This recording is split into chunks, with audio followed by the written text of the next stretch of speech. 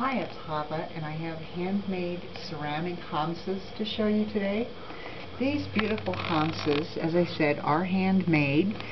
They're going to, with the hanger, be anywhere from 9.5 to 10 inches long. The Hamsa is approximately 2.5 inches wide and about 4 and a fourth to 4.5 inches long. These, as I said, are handmade, so not they're non-identical. These are light blue with blue glass beads of different shades. Then they have beautiful floral paintings in the center, reds and purples and blues and greens and yellows. We also have Hamsas that have the dark blue background, again the floral print.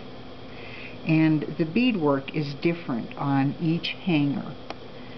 They have the evil eye in them. This one does not. Then we have ones that have a purple background, and again, the flowers are reds and yellows and blues. Each one is uniquely handmade. Greens, dark greens and light greens. We have yellows, a marigold yellow, and then we have a couple that are brown in color. When you order one of these Hamsas, if you order a blue one, we'll definitely send you a blue background.